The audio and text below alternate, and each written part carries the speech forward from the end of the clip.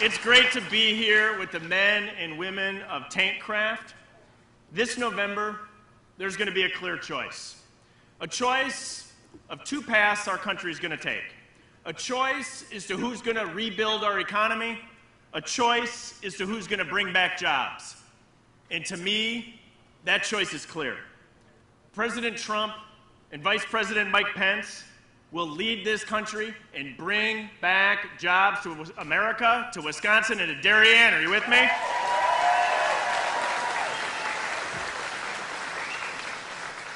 Vice President Mike Pence is fighting for Wisconsin workers and families, fighting to get workers back to work, fighting to protect our health, fighting to keep America safe. The Trump administration passed USMCA and trade agreements that put American workers and American farmers first.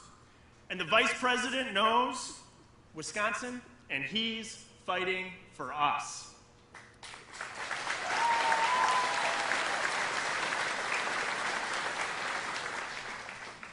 We all know how important it is to keep our communities safe. And I'm proud to join President Trump and Vice President Mike Pence in backing the badge, supporting the men and women of law enforcement, and opposing those who call to defund police.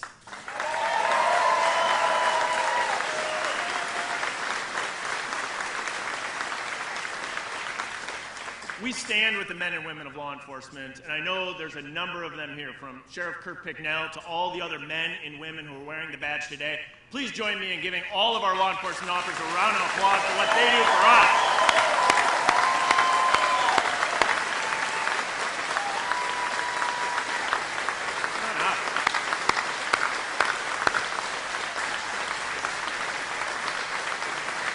Absolutely.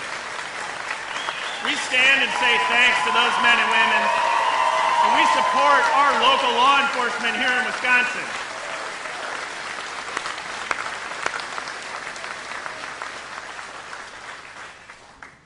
Vice President Mike Pence is a man of faith, a man dedicated to our conservative principles, a leader for our country. He's also a frequent traveler to Wisconsin. In the last 12 months, he's been to Madison, to Onalaska, to Ripon, to Pleasant Prairie, and he joins us here today in Darien, Wisconsin.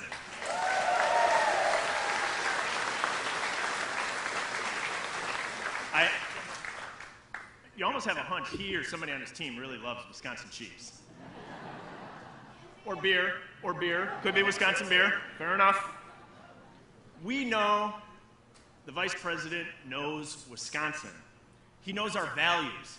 He cares about America's dairyland and our workers, our farmers, and jobs here in our state. Unlike Joe Biden and the national Democrats, who won't even come to our state for their own national convention. And did you see, did you see that they removed the state of Wisconsin from the logo of the DNC convention?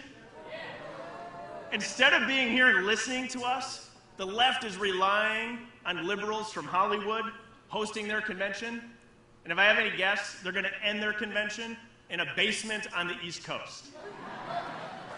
But here in Wisconsin, but here in Wisconsin, we know this to be true.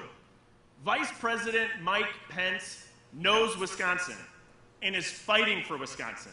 So please join me in giving a warm Wisconsin welcome to our Vice President, Mike Pence.